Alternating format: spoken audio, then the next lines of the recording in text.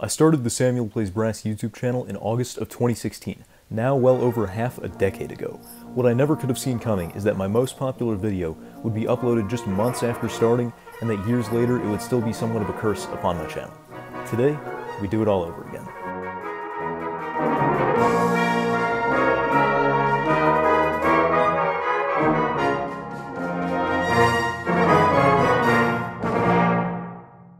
Hey there everybody, it's your host Sam from the Samuel Plays Brass channel. I hope you're all doing well today. On January 1st of 2017, Samuel Plays Brass history was forever made. 14-year-old Sam uploaded a video discussing this instrument, the Vincent Bach Artisan AP190 piccolo trumpet. Now, five years, no outfit changes, and one missing hairline later, here we are again. Stay tuned to learn more about this awesome instrument.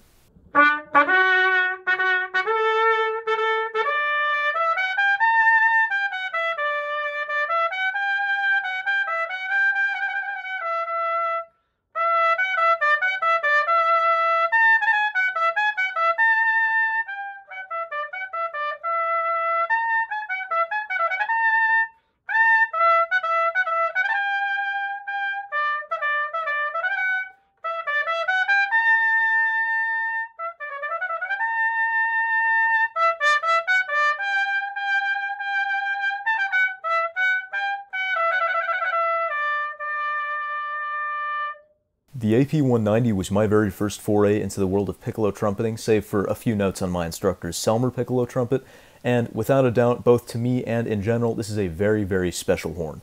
During its production, it's been climbing the ranks as a modern-day industry standard, right up there with the Schilke P54, which is a very popular choice, and many professional artists are starting to gravitate towards the Artisan for its high playability standards. It's a very, very high-octane horn, and I'm lucky to be able to play on one, and it's got a lot of special features that differentiate it in the piccolo trumpet world. This particular instance of the Artisan is in clear lacquer finish. Bach also offers the AP190S, which is the same instrument just in silver plate, but I personally really like the clear lacquer version. I'm quite partial to it because of this beautiful two-tone finish we've got going on here. There is a two-piece valve block on this instrument. The bottoms are yellow brass as you might expect, but we also have these nickel-silver balusters. We also see the nickel color on the slide tubes, and what we call these enhanced radius ferrules. These are some special artisan features, Model 190 features versus standard Stradivarius, which are Model 180. And this whole artisan style, especially the clear lacquer version here, is sort of a harkening back to the Bach Mount Vernon days. Although this instrument is constructed in the modern Elkhart factory, these instruments are sort of meant to replicate what we saw in the Mount Vernon era. Those trumpets are some of the absolute most sought after on the market, and in my opinion, some of the prettiest ever made, so I consider this basically the prettiest piccolo trumpet I've ever seen. The bell on it is a hand-hammered one-piece yellow brass bell, lead pipe also yellow brass, and the bell in particular has some very, very special engraving on it. It's got the Artisan Stradivarius logo with a little craftsman, the Vincent Bach logo underneath, and some very pretty and ornate leaf patterning throughout, so I don't know how well they'll show up in a photo because it's honestly hard enough to see in person. It's just that precise and that tiny, but honestly, the whole package is just a superb one. The AP190's four piston valves are all Monel coated and very, very durable and smooth. I admit because I don't play this instrument as much as some of my others, I tend to neglect the valves a bit, and somehow they all still work very quickly when I take it out of the box, even after not oiling for quite a while. They come stock with brass valve guides, though you can switch them out for plastic ones that are included in the kit. The instrument comes with four tunable mouth pipes or shanks, two for the key of B flat, the shorter ones, and two for the key of A, the longer ones. These two will accommodate a standard trumpet shank mouthpiece, and these two are for a cornet shank mouthpiece. In terms of some more technical specifications, the bore size of this instrument, which we can measure at theoretically any of the valve slides, is 0.450 inches, or a 450 bore, as Bach will refer to it, most of their B-flats are equipped by default with a 459 bore, which is a little bit more spacious, and most of their Cs, in fact, with a 462 bore, but you expect piccolo trumpets to be a little bit more compact in any case. There's not a whole lot of tubing or room for expansion between the mouth pipe and the valve section, so can't possibly expand too much, but 450 is still a pretty decent size compared to some piccolo trumpets. There are some that get much smaller than that. And ironically, 450 is actually still a larger bore than my 444, medium bore Yamaha 8310Z, which was designed for Bobby Shew. So it's it might seem small to some users, but actually it's a fairly spacious instrument. The bell on this is 4 inches in diameter, and what you'll notice about it is it's quite a large flare. Although it's got a very small bell throat, This is a little bit different from some vintage piccolo trumpets, which will have a really small bell, but a fairly generous throat compared to this one. And it changes the sound a little bit, I'd say. I'd make it, it makes the sound a little bit more direct and pointed and gives a little bit more projection. Uh, there's a lot of resonance coming off that big bell, which is nice. And, you know, it's overall a very free blowing and open instrument considering what it's supposed to be, which is half the size of a B flat trumpet.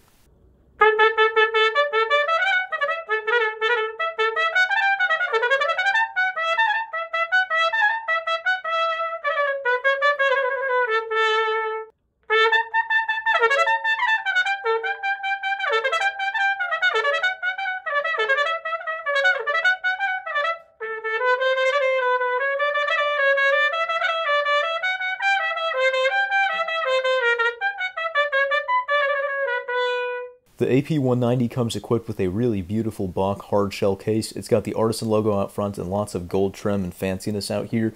It's also got these old suitcase style latches that were the butt end of one of probably the funnier Samuel Plays Brass one-liners. The latches, you open them like this. They do bite for anyone who may be wondering. Unfortunately, one of these latches has gone limp over time. There was a comment that prophesied that on the original video, and unfortunately they were exactly right. This one still maintains some of its original bite, but I do have to be careful when popping them open to sort of, you know, keep them pushed down a little bit. Not that one, though.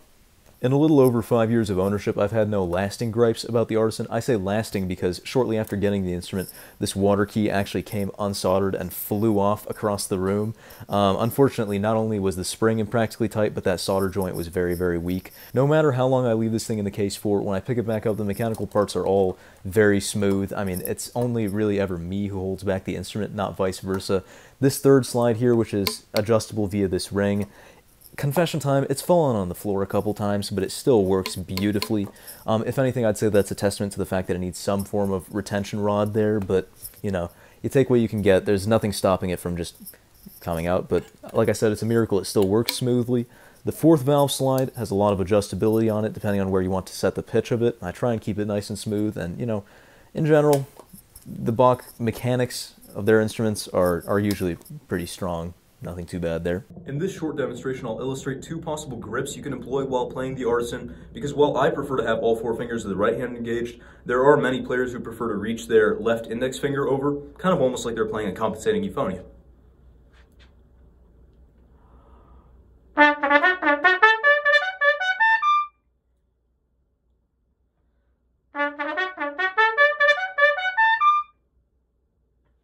As you can see, both are easily possible on the Artisan. This particular instrument, I think, kind of facilitates the pinky grip because this fourth valve is tilted towards the right hand, but provided that your index finger is long enough, this works just fine. The reason I prefer the four finger grip is so I still have easy access to the third valve tuning. Let's talk intonation, as that's a very natural failing point for many piccolo trumpets.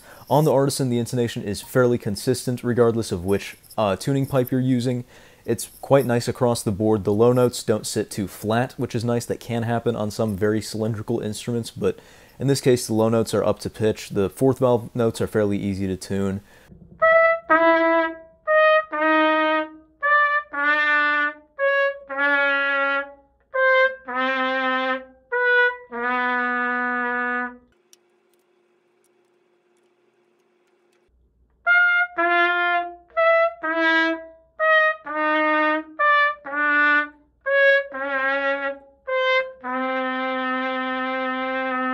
Honestly, the intonation, like I said, is very consistent across the board.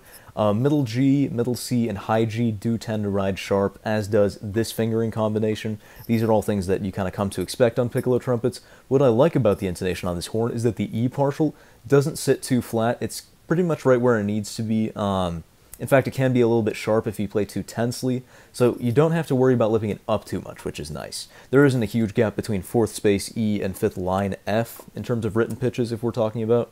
So that's definitely a strong point for things like Baroque music where you're constantly using the written F scale. On the A side, if you put one of the A lead pipes in, you will want your first slide out to about there, which is a fair amount of pull considering, you know, a little more and the first slide will fall off, but if you keep it there, you shouldn't have too many problems. Even the one and two fingering combination should pretty much be where it needs to be. The third slide you might consider pulling out to there. Uh, the fourth slide is sort of a touchy subject, but if you have it about there for your B flat side, you might want it there-ish for your A side. And overall, once you've got all the slides set correctly and you're approaching the instrument as you should, the intonation is really something miraculous.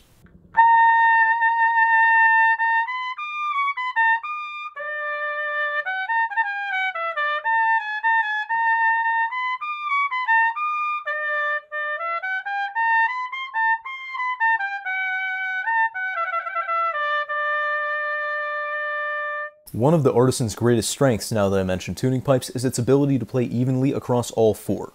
A lot of piccolo trumpets either don't come with all four configurations, or they have very strong preferences as to which pipe exactly they want you to use. For instance, a lot of piccolo trumpets only like to play in the key of A. They're optimized for the key of A, they play fine like that, and then you take that pipe out and replace it with a shorter one, they get very squirrely and they have bad intonation and slotting. That's definitely not the case for the Artisan. It's kind of optimized in between, so you could do either. The B flat side is really nimble and its intonation doesn't suffer terribly much compared to the A side. There might be, I don't know, 5% better intonation on the A side than the B flat side, but that's a much less of a discrepancy than some brands.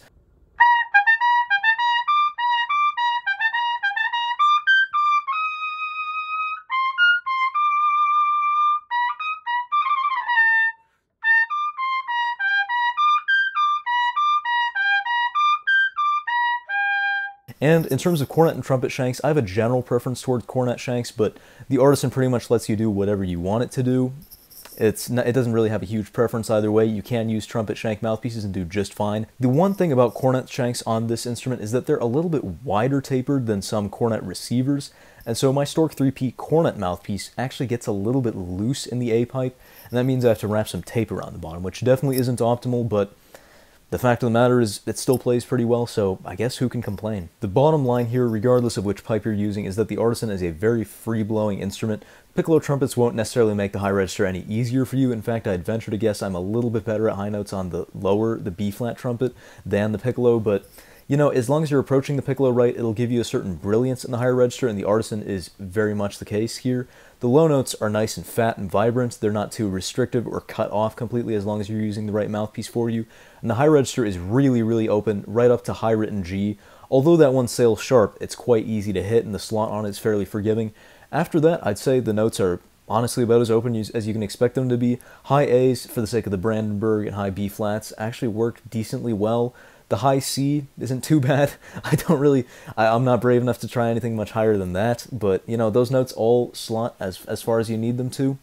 Like I said, it's not necessarily easier than on any other key of trumpet, but honestly, I've played piccolo trumpets that really stuff up on you up there, and the Artisan, as far as things go, is probably one of the better ones in that regard.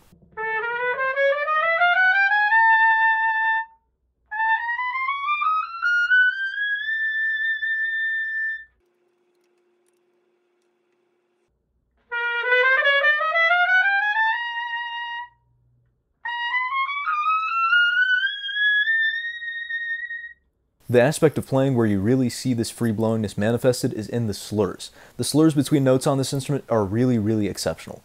Consider two ends of the spectrum. First of all, you have trumpets that oscillate well between notes but don't really lock into them very well. And then you have trumpets that lock into each pitch brilliantly, but they're so restrictive on each pitch that you can hardly transition between the two.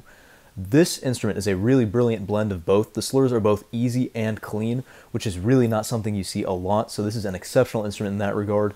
In terms of tonguing, it can get a little bit overbearing. A general hazard of piccolo trumpet is tonguing too hard and having sort of front-heavy sound on the notes, and that's something you definitely have to watch out for.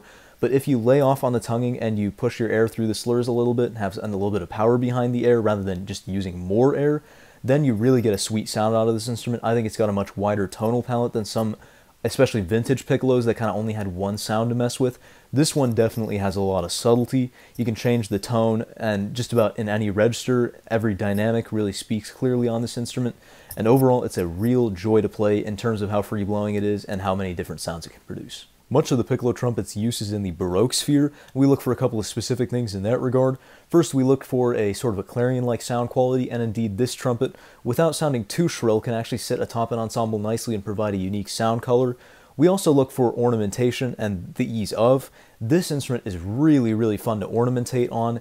Anytime I'm playing anything on the piccolo trumpet, I find myself adding in extra trills and ornaments just because it works really, really well. I can, you know, add in little double tongue runs and all the Baroque pieces, and it's just a lot of fun. It's just nice and easy as long as you lay back.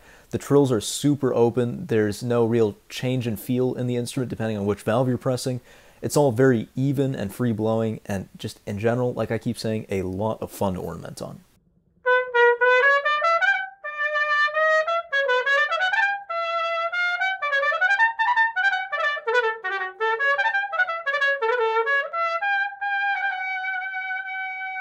I've played the Artisan in a variety of other musical settings, including full orchestra, admittedly years ago, um, some church settings, also solo with piano, and in a couple of various sized brass ensembles, and it really fits in like a chameleon pretty much wherever. It can imitate a more woodwind like sound, it can complement vocals really well, or it can fit right in with the rest of the brass. Uh, I've played this in a full brass section very full considering how many brass players my school's wind ensemble has. I think it really adds a special tonal adjustment to any brass ensemble. I played it in a quartet setting and it did just fine there. Uh, it really, like I said, fits in anywhere and is a lot of fun to apply to any musical setting. All in all, if this is an investment you're willing to take the plunge on, the Bach Artisan is such a rewarding instrument. It is fun and gratifying in every sense of the word, no matter the musical setting or the age or type of player. It's great for college students, high school students, the most seasoned professionals out there. Some of them are using this very instrument and doing just great on it. So I think it's a really, really worthy investment for anyone really looking to up their piccolo game. It's such a privilege to be able to play on this instrument and to have had it over the last five years and to sort of learn grow with it a little bit and maybe fill its shoes a little bit better than I did that first year. In any case, I hope you've learned something from this review, more so than the one I put out five years ago. I'm curious to know if anyone's still around from that era. Um, if anyone's still around to see, you know, 14-year-old Sam firsthand, let me know in the comments. It's been quite the journey, and I've really enjoyed rehashing some old memories and hopefully making some good new ones. I'm really excited to dive into 2022 with you all and explore some bigger and better content. Of course, as always, your help means the world to me. If you enjoyed this video, make sure to leave a like and a comment down below. Consider subscribing to the channel. It keeps me making, as I said, bigger and better content, and it'll really pave the way into the new year. I'm really hoping to hit 5,000 subscribers soon, and with your help, we can make it there.